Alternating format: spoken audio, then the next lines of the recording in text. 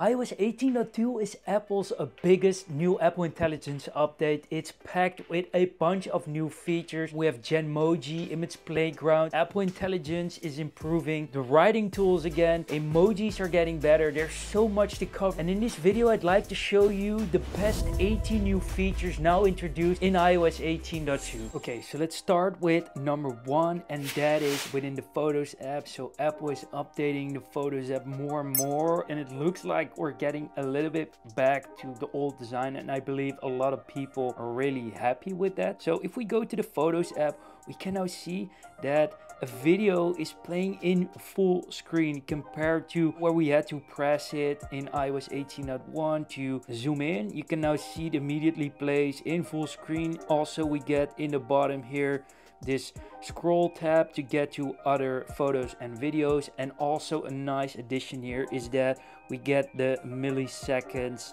when we scroll this was not in iOS 18.1 and now you can see the milliseconds when you scroll. Number two is that the image playground app has been added and is now functional. And let's have a look at the new app. So for example you have suggestions here. You can click on show more. You can see there are a lot of themes that you can use costumes accessories. So let's go with a beanie add a disco and then image playground you're going to make that. And then you can scroll scroll through the different suggestions and see how you like it. And what you can also do is take your own portrait and add that. And then you can see that's me with these suggestions we just had you can also describe an image so say a birthday in space add that. How crazy is this that it's taking into account all these variables and then make these images really fun to play with. Not sure if many people are going to use this, maybe in the beginning. Then later on, people won't use it that much anymore. But yeah, when you have, you just click done and then you have this image that you can then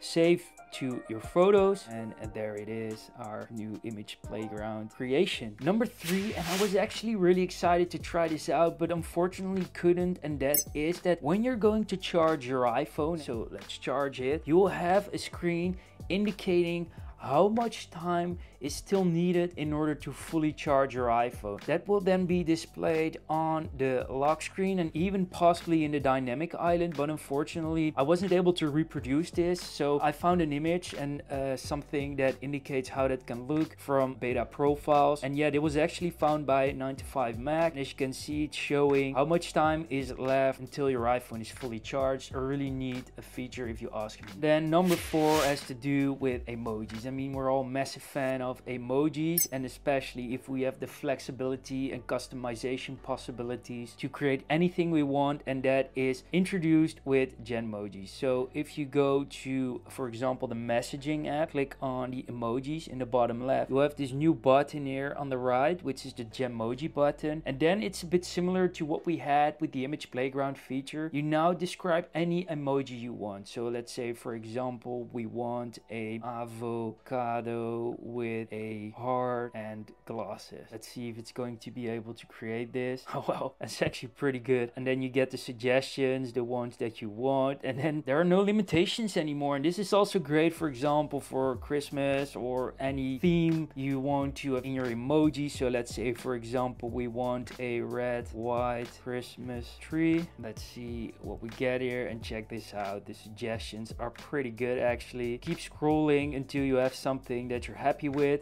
Uh, so let's say we want this one and boom immediately it has created this emoji. And you can also see it's going to be added to your emoji list. You can use this anywhere you want messages notes. But unfortunately it's still limited to other apps. For example whatsapp i know it's limited and instagram as well. But i think it's just a matter of time until we'll be able to use these create self-created emojis into other apps as well. Number five is visual intelligence. So actually i believe this was the main feature why camera control was introduced. Apple initially promoted camera control as the go-to camera button to immediately open the camera and then control it and then have anything you want, change the settings right from this button. But I think initially the goal of camera control was to be able to use it with visual intelligence. So with visual intelligence, you need to long press camera control and then after a brief period, it automatically opens this camera screen. And now if I take a picture, I'll go with this iPhone 16 Pro box, just like that. You have this little sound effect. You now can actually search it on Google and even use ChatGPT with it. You can ask ChatGPT, for example, um, uh, what do you see? And it's saying a smartphone package pretty accurate. And now let's see what happens when we ask google about this image. Click on the search button and then you see it's searching with google and it's going to show images related to what you had on google. Also i believe that right now there's only google and chatgpt support but gemini so google's ai will be available later on. And maybe also other ai services will be able to get access to this. This was the reason why camera control control was introduced mostly for visual intelligence. Next up has to do with volume and now we get the adjusted uh, volume line back that we had in the past. So let me show you how that looks. If you play any music or anything on your iPhone, you have the possibility to change it straight from your lock screen. Pretty nice and a bit more accurate than if you use the buttons on the side. To enable this, you need to go to settings and in settings we scroll to accessibility accessibility and in accessibility we need to go to audio visual right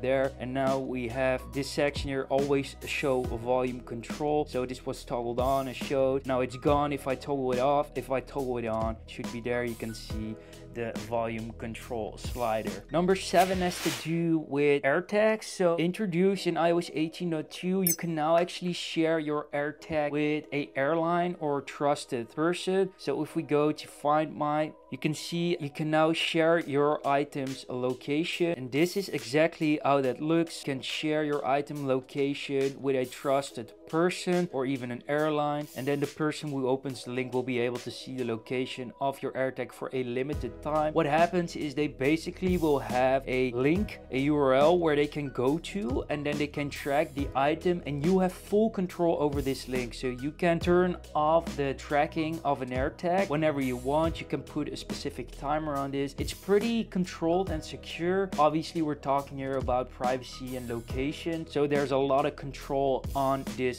feature. And I think this is really amazing for people that are losing their luggage that are traveling. Even now with the feature that airlines have the possibility to track your luggage, for example. This was just what we've been waiting for for years. Next up, it's finally here. Number eight is that ChatGPT is integrated into Siri on the iPhone. So let's say for example, give me a flourless pancake recipe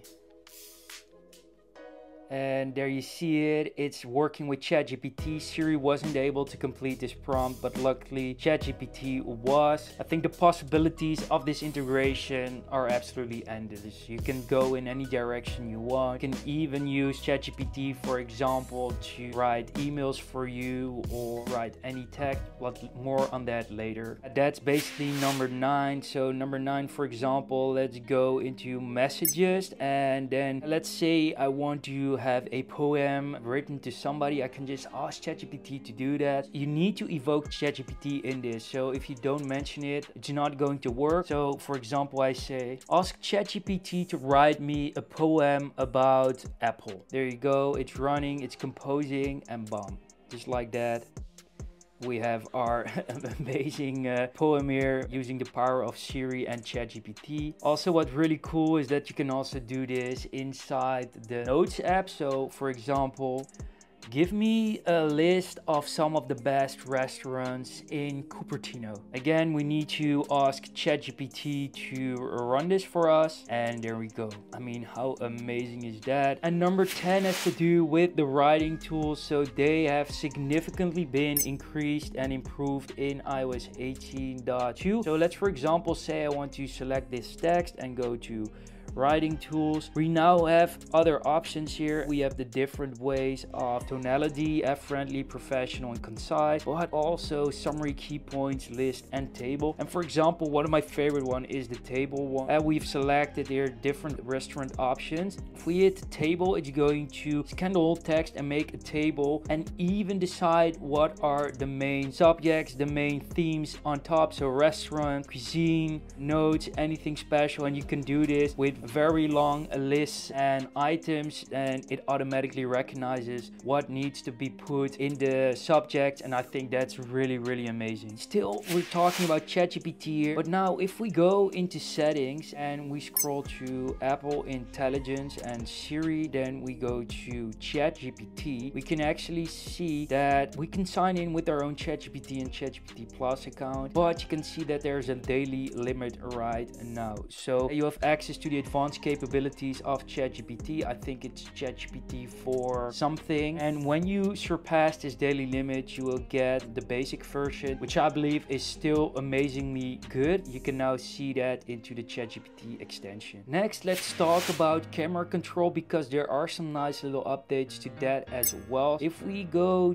to camera right there and then go to camera control we now have this accessibility feature here as you can see, there are a bunch of new customization tools in order for you to change your camera control experience. So for example, the double click speed, you can go from default slow to slower, double light press speed, same thing. The light press force, you want it to be firmer or lighter. And then the control gestures, the light press and the swipe can basically change this to your own preference. And then number 13, still about camera control. If we go to display and brightness, then scroll down we have the new uh, require screen on feature for the camera control which basically means if you want to enable camera control the screen needs to be on. So let's say my iphone is turned on and i press on camera control eh, it's not going to open immediately. But let's say i have this toggled off then if my iphone is off it's going to open it immediately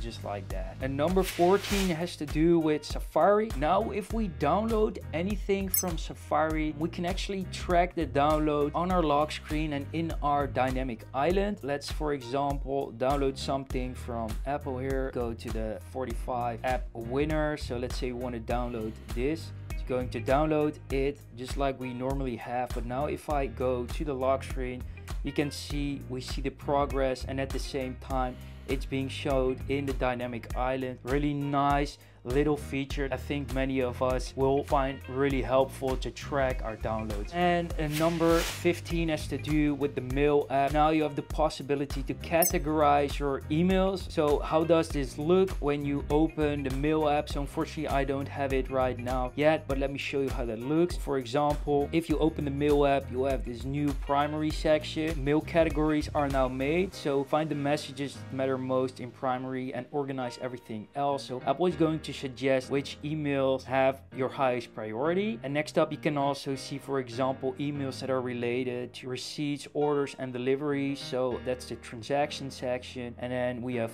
updates, and the last one is notifications. So Apple made these categories. I'm really curious to see how this works out over the long run. But yeah, really nice to have these categories and see if it's going to help us save time. Next up is in settings. So if we go to the bottom and we go to apps, we now get this new default app section. So what this means is now we have a better overview of all the default apps that are using which service. So right now, for example, email, you can only use mail, but this could mean that actually other providers will have the possibility to be default apps as well as with messages. I don't know if this has anything to do with the European Union forcing Apple to open up their ecosystem. But yeah, as you can see, there's now in-app apps this default app section which allows you to potentially in the future change the default apps for example for the mail phone or messages app. Number 17 talking about default uh,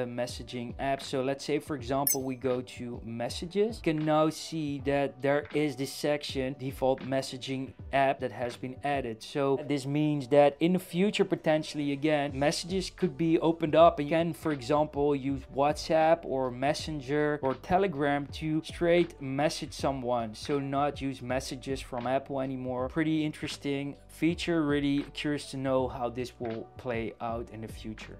And lastly, still in the default apps here, let's go to Safari because now there's a new warning. There's a new not secure connection warning. So let's scroll to Safari. And if we scroll down, there is this new section called a not secure connection warning. Let's toggle this on. And what this actually does is that you basically get a warning when you're loading or connecting to a website that Apple thinks is not secure. All right, guys, I hope this was helpful. Make sure to subscribe, hit the bell icon, like this video if you learned something new. Appreciate you being here and see you in the next one. Peace.